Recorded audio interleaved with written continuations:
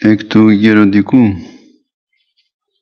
αποφθέγματα του Αβά Υπερεχείου τέταρτο απόφθεγμα είπε πάλι εννοεί το Αβάς Υπερέχειος καλόν φαγήν κρέα και ποιήν ίνων και μη φαγήν εν καταλαλιές σάρκας αδελφών.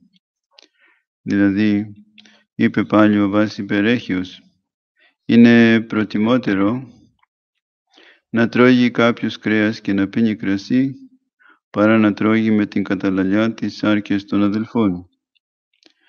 Δεν είναι η άσκηση σωματική το άπαν της πνευματικής ζωής.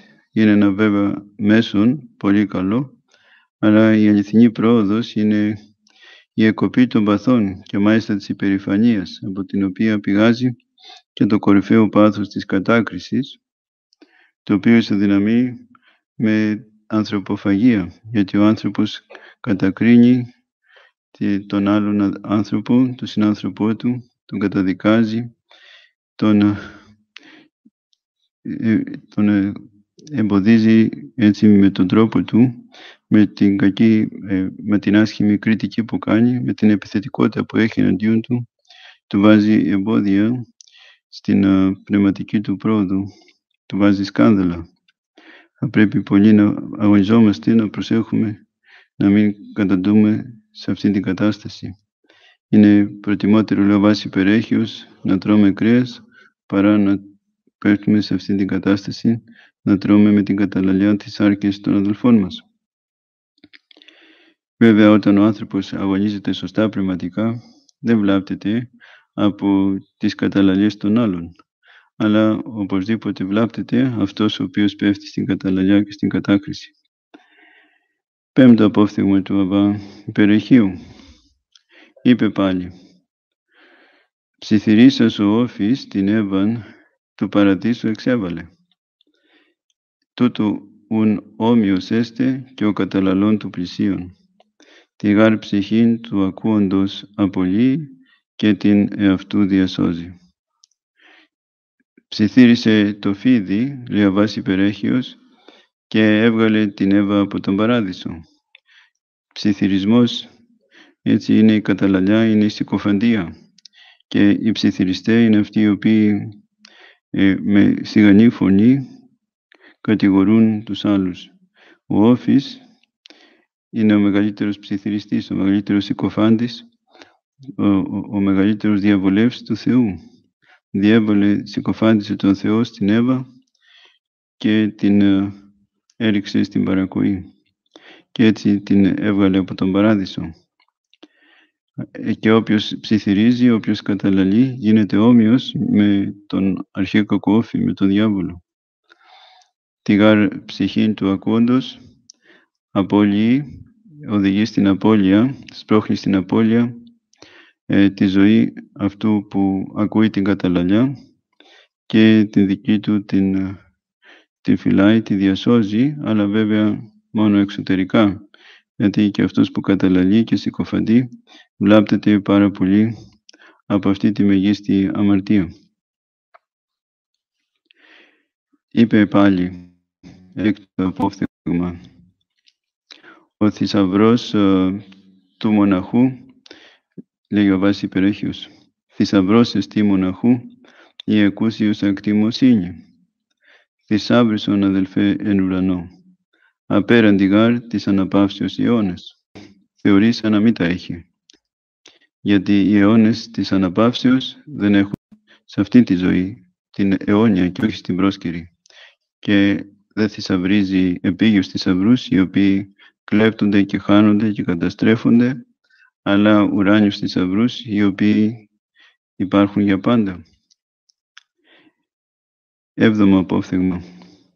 Είπε και εντάχει κληρονομήσεις αυτήν. Και εύκολα να θυμάται κληρονομήσουμε την αιώνια χαρά και μακαριότητα. Αγαπάει τον Θεό και αποθεί έτσι να βρεθεί στη Βασιλεία του Θεού. Γι' αυτό λέει ο Βάσης Υπερέχιος, συνέχεια να θυμάσαι τη Βασιλεία του Θεού και θα την κληρονομήσεις. Γιατί ένας που θυμάται τη Βασιλεία του Θεού, ό,τι κάνει το κάνει πλέον για να πετύχει τη Βασιλεία. Και αυτό που πρωτίστως χρειάζεται για να βρεθούμε εκεί είναι να τηρήσουμε τις εντολές του Θεού, να πληρώσουμε το θέλημά Του σε όλα. Ένας λοιπόν που συνεχώς σκέφτεται τη Βασιλεία του Θεού, συνεχώς αγωνίζεται να κάνει το θέλημα του Θεού εδώ στη γη. Γιατί ξέρει ότι αυτή είναι η αναγκαία προϋπόθεση μαζί με το Άγιο Βάφτισμα που έχουμε πάρει ως Ορθόδοξοι Χριστιανοί για να σωθούμε, για να βρεθούμε στη Βασιλεία. Γιατί μας λέει ο Λόγος του Θεού, ο πιστεύσας και, βασι... και βαπτιστής σωθήσετε. Αυτές είναι οι δύο βασικές προϋποθέσεις για να πάμε στη Βασιλεία του Θεού. Πίστη σημαίνει ζωντανή πίστη και εμπιστοσύνη στον Θεό, η οποία φανερώνεται με τα έργα που κάνουμε, τα έργα της μετανοίας, με τη διόρθωση της ζωής μας, με την αποφυγή του κακού και την καλλιέργεια των αρετών, με τη μετάνοια και έτσι με την εκπλήρωση όλων των εντολών και των θελημάτων του Θεού σε κάθε περίσταση της ζωής μας. Και τότε ο άνθρωπος βεβαίως επιτυχάνει με τη χάρη του Θεού πάντα τη σωτηρία του. Όγδο απόφθεγμα, είπε πάλι ο Αβάς Υπερέχιος, «Κοιμήλιον εστί του μοναχού η υπακοή». Είναι πολύτιμο πράγμα για τον μοναχό η υπακοή, αλλά και για τον κάθε χριστιανό, ο οποίος θέλει να σωθεί, γιατί είναι μίμηση Χριστού. Όπως ο Χριστός μας έγινε υπήκος μέχρι θανάτου, θανάτου δε σταυρού, ως άνθρωπος, στον ουρανής πατέρα του, έτσι και ο κάθε χριστιανός, ο κάθε πιστός, πρέπει να είναι υπάκουος στον ουράνιο πατέρα μας και Θεό μας, αλλά και στον πνευματικό μας οδηγό και σε κάθε άνθρωπο, εκτός βεβαίως αμαρτίας, κατά το υπακούεται αλλήλης, που μας δίνει ως εντολή ο Άγιος Απόστολος Παύλος. Ο κεκτημένος σε αυτήν την υπακοή, λέει ο Βάσης Περέχιος, εισακουστήσετε από το Θεού και με τα παρησίας το σταυροθέντη παραστήσετε. Όποιος κατέχει την υπακοή θα εισακουστεί από το Θεό και με παρησία, με θάρρος θα σταθεί ενώπιον του σταυρωμένου. Ο γάρος σταυρωθείς Κύριος, υπήκος γέγονε μέχρι θανάτου. Γιατί άλλωστε και ο σταυρωμένος Κύριος έγινε υπήκος μέχρι θανάτου στον ουρανής πατέρα του. Όποιος λοιπόν υπακούει, αυτός μιμείται τον πρώτο υποτακτικό και τον τελειότερο όλων, τον Κύριο ημών Ιησού Χριστό. Τες, αυτού, τες αυτών Αγίες Πρεσβείες, Χριστέ ο Θεός, ελέησον και σώσον ημάς. Αμήν.